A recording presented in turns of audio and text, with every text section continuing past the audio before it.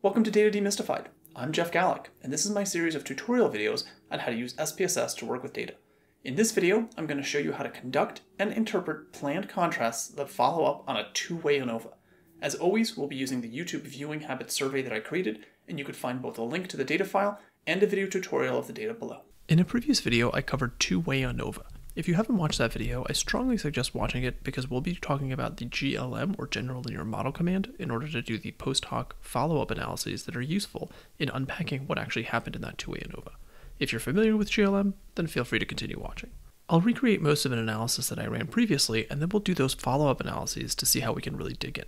So, in particular, I'm going to see how two variables, gender and citizenship, interact with one another to predict another variable called importance views. So let me expand this so you can see importance views. This is a variable that indicates how important it is to somebody how many views a video has before they actually watch it. In the previous video, I actually only allowed for two levels of gender, male and female, but here I'm going to let all the data stand. So we'll have male, female, and other coded as 1, 2, and 3, and so we'll actually have a 3 gender by 2, which is citizen, yes or no, ANOVA predicting this continuous variable importance views. To conduct this analysis, we'll go up to Analyze, General Linear Model, Univariate, We'll put the variable importance views into our dependent variable list. We'll scroll down and include gender and citizenship as our fixed factors. Under plots, I'm going to ask for the gender by citizenship plot as a bar chart with error bars. And under EM means, I'm going to make sure I move everything over and include it. If I did all that quickly, again, I recommend watching that previous video where I go through this a lot more slowly and explain why I'm choosing all these options. Now, I'm not actually going to run this analysis. Instead, I'm going to hit paste because we need the syntax that was used to generate these analyses because we need to update the syntax to create those contrasts. So I'm going to hit paste. That populates all of our code into the syntax editor, and the first thing I need to do is rename this command from a UniANOVA to GLM or General Linear Model. That gives me a lot more flexibility in what I want to do. I'm actually then going to go ahead and run this code so we can see what the output looks like without our comparisons. I'll hit the run button, and here we see that first of all, there is that same two-way interaction that we saw before. Gender by citizenship has a significant two-way interaction. We know that because that value is below our convention of 0.05. And I'm going to skip over a few of these things and just go to the graph. In the graph here, we can see where those differences appear to be. So for instance, it doesn't appear like there's a big difference between whether you're a citizen or not, the blue and red bars, when you're male, there's actually no data for non citizens who say other as their gender, because there are actually only a few responses for that, so really no comparison to be made here. But all the action of this interaction seems to be happening within female respondents. It seems like female respondents who are not citizens think that how many views a video has is an important consideration for deciding whether to watch a video, at least more so than females who are in fact citizens. But we can't know that for sure without actually running the statistical test to compare these two. Well, the easiest way to do that is with the compare command within the script that we use for GLM. So I'll go back to my script, and right here we have this line EM means. This is our estimated marginal means for the full interaction. If we go back to our output, we see that this is the table right here.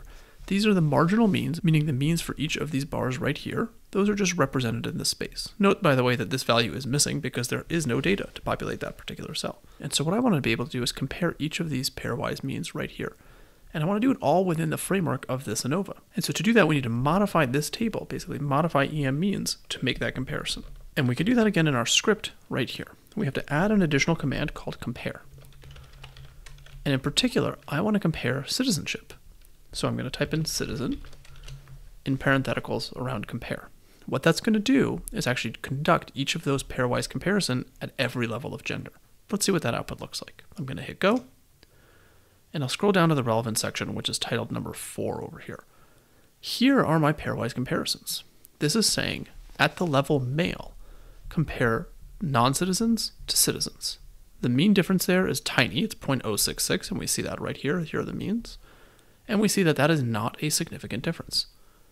For females, no versus yes, the mean difference is 0.709, and in fact, that is a statistically significant difference. And for other, well, we can't make that comparison because we don't have any data in the no cell here. We actually see the specific F test for those contrasts right here as well down below.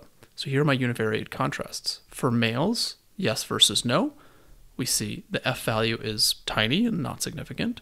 For females, the F value is huge, and it is significant, and again, no test for other. So this is our quick and easy way to make this comparison, and it's worth pointing out that you can make the comparison the other way too. So if we look at our chart, we could also say, for people who are non-citizens, can we do all those pairwise comparisons? So basically, can we compare this blue bar to this blue bar, then this red bar to this red bar, this red bar to this one, and then this one to this one, every pairwise comparison within level of citizenship. And all we have to do if we go back to our code is change and say compare gender. So in other words, we're going to be comparing the level of gender within each level of citizenship. Let's just run that and see what it looks like as well. If we scroll down, we now have those comparisons in a slightly different way. It's now saying when you're not a citizen, male versus female. Is that a significant difference? Well, no, not really. Male versus other, no data for there, so we can't actually do that analysis. Female versus male, it's actually just the same analysis as we saw before, and so on. The thing I will caution you is that when you're doing this, and if you don't have an a priori hypothesis to test, you are in fact just fishing, meaning you're running multiple comparisons and seeing if anything comes back as statistically significant, which greatly inflates your type 1 error or your false positive rate. And you might want to think about doing something like a Bonferroni correction here. And in fact, you can do that right within SPSS. If we go back to our syntax, there's a command you can say which is adjust ADJ, and we could adjust it using the Bonferroni correction for multiple comparisons. And so the syntax is just here. If we now click run, these comparisons and these corresponding p-values are in fact corrected for multiple comparisons. You can see that in the little superscript D. It says right here, adjustment for multiple comparisons, Bonferroni. So you can feel a little bit more confident about these results because they are in fact taking into account the fact that you were just kind of in a fishing expedition here. So this is the point in the video where I ask you to pause and try this yourself. In particular, what I'd like you to do is use the two variables minute watched, which is right up here. That's a categorical variable that indicates how many minutes an individual watched YouTube on any given day in a variety of bucket response options, ranging from zero minutes all the way to more than 180. Interact that with the level of education, which is right down here. So you see education also a categorical variable, less than high school, high school, and so on. There's seven levels there. Predicting average opinion, and critically run the comparison after the fact, looking to see if education differed within each level of minute watched. And just to make this a little bit more robust, let's add a Bonferroni correction. I'll put up on the screen everything that I just said, but this is the moment that you need to pause the video, give it a try, and when you return, I'll show you how I do it as well. Okay, hopefully you've had a chance to do that, and so I will as well. I always like to start by just recreating my ANOVA because I don't remember all the syntax off the top of my head. This does it for me analyze, general linear model, univariate. As I said, we're going to include minute watched and education as our two between subject variables and our fixed factors. We're going to predict average opinion, which is right here. I'm going to include the plot for minute watched by education with bars and error bars. I find that to be useful. And under EM means, I'm going to move everything over. And again, rather than running this, I'm going to go ahead and click paste. And so here's my code. Critically, I'm going to change this UniANOVA just like we do above to GLM. And under EM means, I'm going to say compare educ, which is my code for education. And I'm going to make the Bonferroni adjustment for multiple comparisons by typing adjust and Bonferroni. And that's it. That's actually all I need to do. If I go ahead and run this, you'll see that my output is pretty complex. So you'll see, first of all, that there isn't a two-way interaction, but that's fine. We're doing this as an example to see if we can learn how to do this particular tool. So if we scroll down, we see that here are our estimated marginal means for every single level of minute watch and education predicting average opinion. And critically, here are all of our pairwise comparisons. You'll see a lot of missing values because we just happen to have missing data in a lot of these places.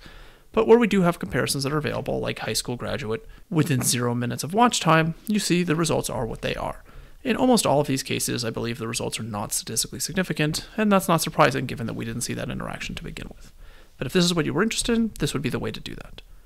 And again, if we just scroll down all the way to the bottom, you have a nice visual representation of what those differences look like. Honestly, it kind of just looks like a mess here, and that's okay. These are real data, that's what happens. So if you want to make these simple pairwise comparisons, these post hoc contrasts, this is a simple and quick way to do that using the compare syntax. That's it for this video. I hope you found this useful, and if you have any questions, please comment below, and I'll be sure to reply as quickly as I can. Aside from these tutorials, I'm on a mission to equip everyone with the information they need to thrive in our data-rich world.